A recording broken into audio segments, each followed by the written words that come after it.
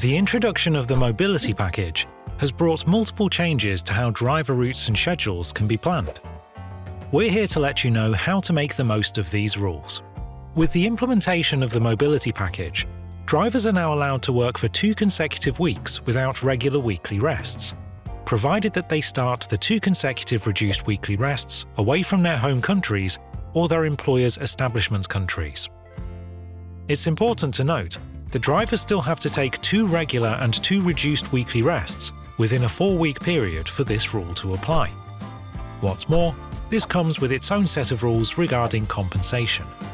In order to compensate for two consecutive reduced weekly rests, you have to compensate them en bloc before the next weekly rest.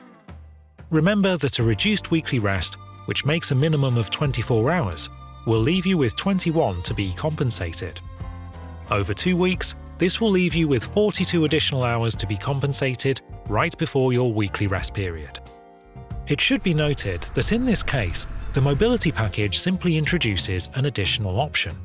The choice of whether to take two consecutive reduced weekly rest periods or not lies with the driver. In any case, Tachogram is up to speed with all the latest rules and regulations and will always show exactly where you stand.